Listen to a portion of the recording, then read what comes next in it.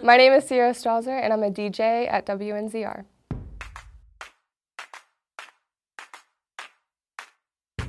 Fix our eyes means to me that we cannot place our value in material things and other people because we need to focus on God and make Him our number one priority and um, He will get us through our struggles and whatever we have to face in our lifetime.